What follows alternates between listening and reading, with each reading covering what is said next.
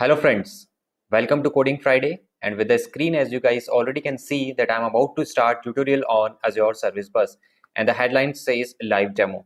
Yes, if you guys already have seen my previous videos based on uh, you know Ocelot, based on um, uh, TypeScript and other uh, technologies stuff as well, you have uh, noticed that everything what I do, I do in a practical demo so going with the same process uh, i will be doing the uh, you know the practical demo of the azure service bus i'll create a couple of microservices and uh, we'll see that how the data can be uh, you know communicated between those uh, two microservices. And uh, yeah we'll do all, all of this in a bit. So first thing is that azure portal i'll be using. So you should have the account created on the azure portal. We'll see if you don't have the account don't worry. Then of course you know before i jump into the directly on the demo it is important understand why we actually you know practically need this azure service bus. So we'll uh, have some sort of uh, overview of microservice architecture not in detail of course. Then we'll see the use of service bus. And of course the practical example uh, i'll be using the visual studio 2017 and of course the azure portal what i mentioned. Now in the azure portal itself there are two things. One is that either you can uh, you know uh, do on the on the website or also you can create the local emulator. I have separate videos of uh, you know how you can uh, create the local emulator already posted in my youtube coding friday channel. You can go and watch those videos. And yeah the code which i'm uh, going to do in a bit it is also available on a github and the link is uh, provided in the description too. Okay now let's uh, see first of all okay so let me just first of all explain what is the uh, let me put it here. Yeah. Mm, maybe here. Okay so the microservices architecture like you guys already have uh, worked on the mono, monolithic application. Now what what is monolithic application? In a, in a simple i am not going to use any you know uh, lines from the internet or i'm not going to in detail with the theory of what is monolithic application what is microservice the simple term is that in the monolithic application you keep all the code in one solution. That if you have the business layer you have the data layer you have the ui that every layer resides in the same solution. And also you make use of the multiple uh, you know third party services or even different services.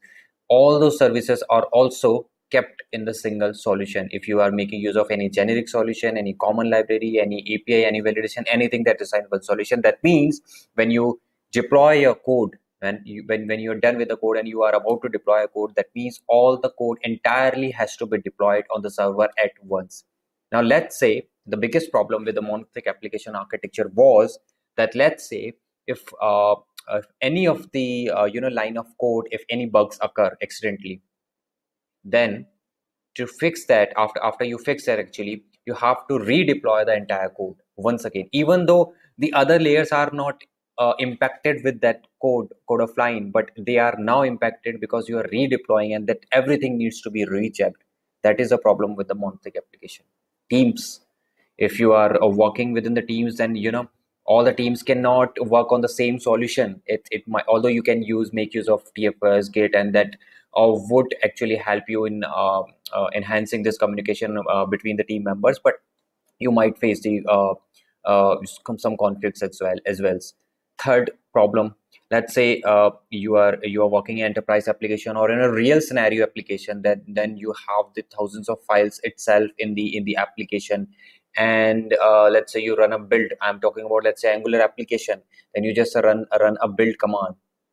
Then have you have you i think you have guys already seen or faced this problem. It takes 5 minutes 10 minutes even longer than that time now every developer who is fixing a couple of lines of bug he want to see the output in the uh, in the in the chrome and he has to wait again for the 10 minutes. That is the problem with the monolithic application. That means that everything is the one solution. The concept of the micro the, the concept of the microservice service architecture came into the picture where you have uh, splitted those uh, functionalities right? Let's say you have some functionality you added in a different microservices and you have dedicatedly x team working on that microservice and this microservice has its own database as well.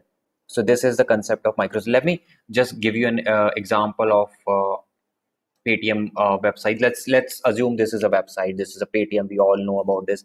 Now you can see we have mobile prepaid over. We have electricity dth recharge metro all those stuff. So what what do you think? That paytm has deployed all at once let's say uh, in a landline service uh, there is a there is a bug.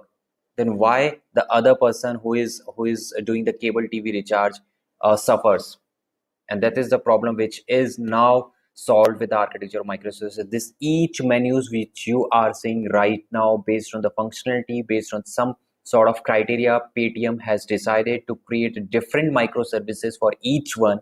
And that means they deploy differently uh, each microservices and if bug is occurring the landline then other person can easily make use of easily can access the dth recharge. And this is what we do.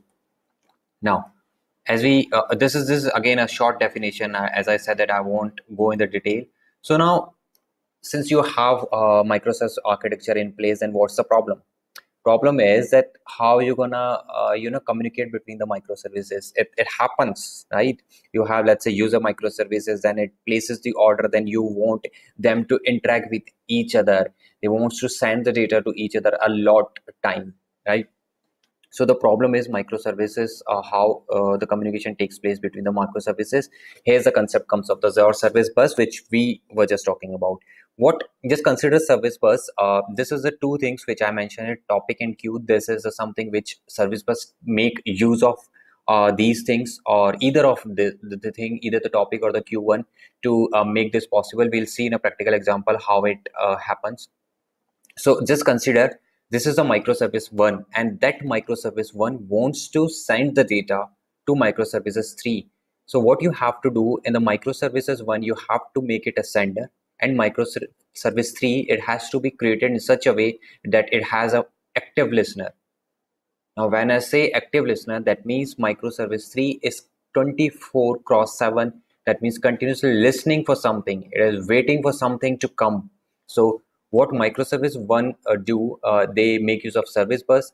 They added a key here and then attach the data whatever the data wants it wants to send. And using the topic it sends the data to the microservices 3 the moment it loads the data the message count on the server automatically get increased by one right? And this is a microservice 3 which is as i said you have to make it active listener. And the moment it see that the message count is one it picks up the data. It listen based on the key. So so the send key and the listen key these are the two important things with which these are connected. So this is the way. Okay. So it receives the data and the moment it receives the data the message count again gets to zero. One thing is that in real scenario when you're doing in azure portal you will not see happening this like message count increasing to one and then decreasing to zero. But we will put some sort of debuggers and we'll pause our code so that we can practically see how it is uh, you know quickly happening in the real scenario. So that's all uh, about overview of microservices uh, architecture and the uh, azure service bus. In next tutorial i'm just uh, going to start on the uh, demo part. Thank you for watching this. Thank you